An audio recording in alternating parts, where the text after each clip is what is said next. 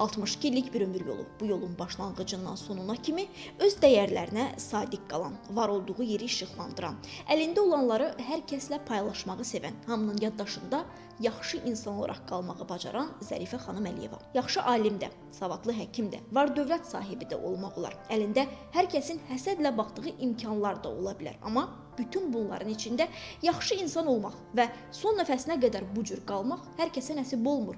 Bu gün təvəzzökarlığı və mehribanlığı ilə hər birimizin qəlbində taxt qurmağı bacaran Zərifə Əliyevanın anadan olmasından 100 il ötür. Təsadüfi deyil ki, Zərifə xanım haqqında danışanda yada ilk olaraq işıq düşür. Təkcə ona görə yox ki, Zərifə xanım həkim idi və ehtiyacı olanlara şəfa verirdi. Həm də ona görə ki, onun həyatının özü elə bir işıq təcəssümü idi. Bu işıqdansa hər kəsə pay düşürdü. Ailəsinə, evladlarına və ehtiyacı olan hamıya biz e, ondan təkcə bir müəllim kimi yox, eyni zamanda bizə bir analıq qayğısı göstərirdi. Həqiqətən də e, indi də hər birimizin yadına düşəndə birinci növbədə onun insanlığı, onun analıq qayğısı, onun çöhrəsində e, olan mülayimlik, insanlara münasibəti, özünə qarşı belə məhəbbət hissləri oyatmışdı. Bütün bilik və gücünü, istedad və bacarığını insanların sağlamlığının qorunmasına sərf eləyib, saysız hesabsız müalicələri ilə göz xəstəliklərinin qarşısını almağa səy göstərib və buna da nail olub Zərifə xanım. Dünya tibb elminə yeni nailiyyətlər bəxş edib akademik adına yüksələn Zərifə xanım Əliyeva dəyərli ziyalı və alim kimi respublikamızın hüdudlarından kənarda da yaxşı tanınırdı. Moskva oftalmologiyası akademik Zərifə xanımı oftalmologiya mirvarisi adlandırırdı. Əgər mən peşəkar bir ədəbiyyatçı olsaydım, akademik Zərfə Xəməliyeva haqqında əsər yazası olsaydım, onu əvəz olunmaz insan haqqında povest adlandırardım.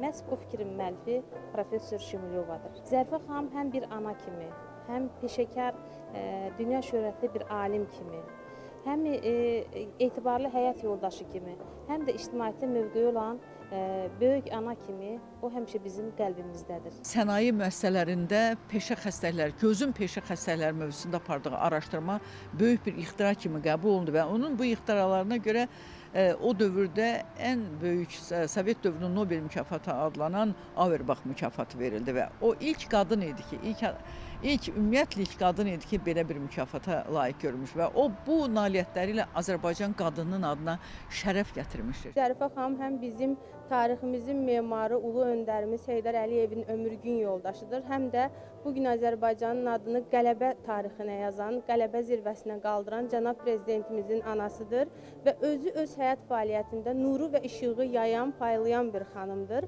Onun sevgisi ömür gün yoldaşına, ümummilli lider Heydər Əliyevə də güc mənbəyi olub. Vəfatından uzun illər sonra belə Heydər Əliyev onunla bağlı danışanda hər dəfə kövrəlir, xoş xatirələrindən ağız dolusu danışırdı. Zərifə xanım birinci mənim üçün çox əzizdir. Mənim ömür yoldaşım, həyat yoldaşım kimi və mənim həyatımda